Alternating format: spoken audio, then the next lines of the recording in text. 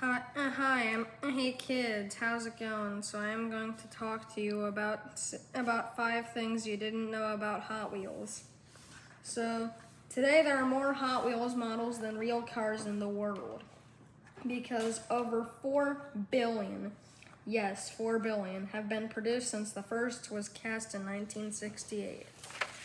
Hot Wheels actually made a car coated in diamonds. It was designed by a celebrity Beverly Hills jeweler to celebrate the brand's 40th anniversary. Over 3,000 diamonds combined for just under th- 23 carats. Since 2001, Hot Wheels has been building real cars.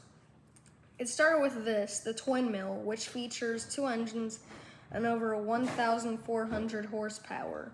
The company continues today with cars like 2014's Darth Vader car, which was built on a Corvette platform. Some of the collectors are lifelong devotees. There are multiple guys with collections topping 30,000 cars, and one of their collections has an estimated value of over $1 million.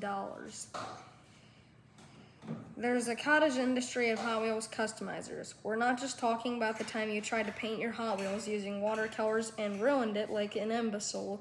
We're talking Dremels, welders, and airbrushes. So thank you, Air Mil- Aaron Miller, er, for doing this. Thanks, and bye. See ya. By the way, get out of here, Gotta man. look at right